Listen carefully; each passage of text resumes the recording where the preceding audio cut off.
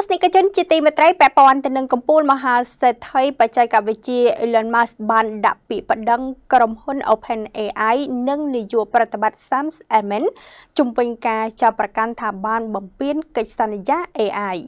កម្ពុជាមហាសេដ្ឋីបច្ចេកវិទ្យាលោក Elon Musk បានប្តឹងក្រុមហ៊ុនបុតសម្ព័ន្ធរបស់ Microsoft គឺ OpenAI និងនាយកប្រតិបត្តិក្រុមហ៊ុននេះលោក Sam Altman ព្រមទាំងថ្នាក់ដឹកនាំផ្សេងទៀតដោយចាត់ប្រកាន់ថាបានបំពានកិច្ចសន្យាអភិវឌ្ឍគម្រោង AI តាមរយៈការបោះបង់ចោលគម្រោងដើម្បីមនុស្សជាតិនេះទាំងស្រុងតែម្ដងព្រោះតែដើម្បីផលប្រយោជន៍នេះបើតាមការចេញផ្សាយដោយសារព័ត៌មាន CNBC នៅថ្ងៃទី2ខែមីនាឆ្នាំ2024ពាក្យបណ្ដឹងនេះគឺបានដាក់ទៅកាន់តុលាការ San Francisco កាលពីថ្ងៃប្រហ័សកន្លងទៅនេះគណៈមេធាវីរបស់ Musk បាននិយាយថាមហាសេដ្ឋីបច្ចេកវិទ្យារូបនេះត្រូវបានលោក Sam Altman និងសហស្ថាបនិក OpenAI លោក Greg Brockman តាក់ទងនៅឆ្នាំ2015ដើម្បីពិភាក្សា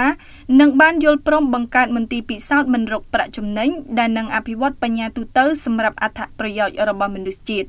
តែយ៉ាងណាលោក Musk បានលាឈប់ពីក្រុមប្រឹក្សាភិបាលនៅឆ្នាំ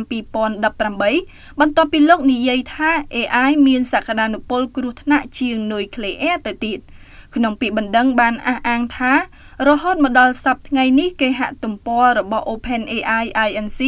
នៅតែបន្តអះអាងថាធម្មនុញ្ញរបស់ខ្លួនគឺដើម្បីធានាថា AI ផ្ដល់អត្ថប្រយោជន៍ដល់មនុស្សជាតិទាំងអស់ប៉ុន្តែជាក់ស្ដែង OpenAI ផ្ដោតលើការបង្កើនប្រាក់ចំណេញសម្រាប់ក្រុមហ៊ុនមេ Microsoft ទៅវិញដោយបានបំពេញកិច្ចព្រមព្រៀង